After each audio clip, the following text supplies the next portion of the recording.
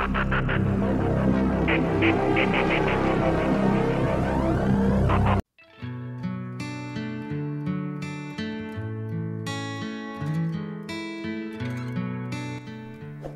Bramasta memang sudah lama putus dari Natasha Bilona.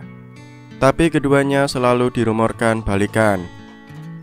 Tetap berteman dekat meski sudah putus, membuat nama Feral Bramasta dan Natasha Bilona selalu dikira balikan.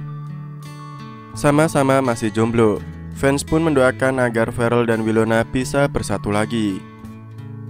Saat menjadi bintang tamu di konten hashtag 5 menit saja di channel YouTube Boy William.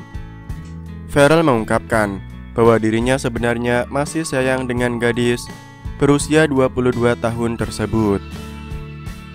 Kalau Wilona satu agama sama lo, lo balikan gak? Tanya Boy William. Apa? Sudah lima menit. Jawab Feral Bramasta mencoba mengalihkan pembicaraan. Tak disangka, putra sulung Vena Melinda itu ternyata masih menyayangi Wilona meski sudah putus.